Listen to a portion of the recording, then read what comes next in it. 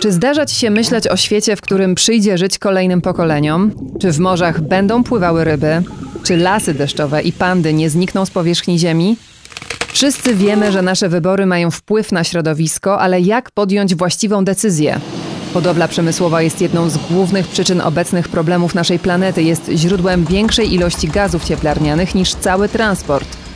Hodowla zwierząt już teraz zajmuje jedną trzecią powierzchni Ziemi.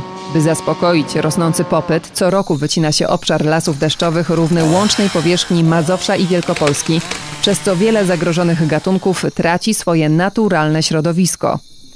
Jednocześnie spożycie ryb jest bardzo szkodliwe dla mórz i oceanów, w tym Bałtyku. Jeśli połów dalej będzie prowadzony w obecnym tempie, w ciągu 50 lat mogą wyginąć wszystkie gatunki ryb morskich. Te i inne problemy naszej planety mają proste rozwiązanie. Ogranicz spożywanie produktów odzwierzęcych lub całkowicie wyeliminuj je ze swojej diety. Twój wybór wpływa na podaż. Jedzmy z głową, nie zjedzmy naszej planety.